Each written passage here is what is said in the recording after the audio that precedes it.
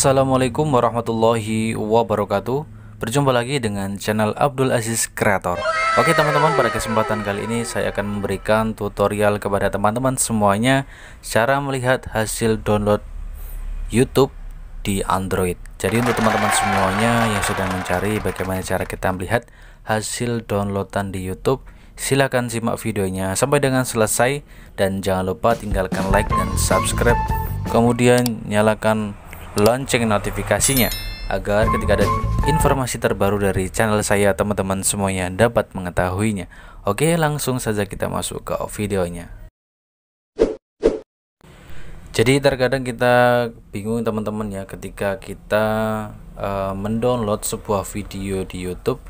Nah, hasil downloadannya atau video offline-nya itu kita bingung di mana lokasi uh, tersimpan. Nah, kita misalkan uh, mendownload solawat ya.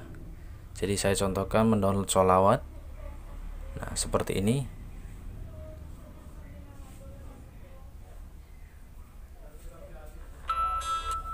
Oke, ini sudah sudah kita download teman-teman. Jadi sudah tertera di download. Nah, untuk kita mengetahui di mana letak posisi video yang sudah terdownload ini, nah, kita pergi saja ke atau kembali. Nah, seperti ini. Kemudian di bagian bawah ini ada beranda short dan uh, subscription dan koleksi. Nah, untuk hasil downloadan yang ada di YouTube ini, dia akan masuk di bagian koleksi. Jadi kita klik di bagian koleksi. Nah di sini teman-teman semuanya scroll ke bawah dan kita lihat di bagian hasil download. Oke di sini kita sudah dapat melihat di mana letak posisi hasil download dari YouTube ini. Dia terletak di bagian koleksi teman-teman.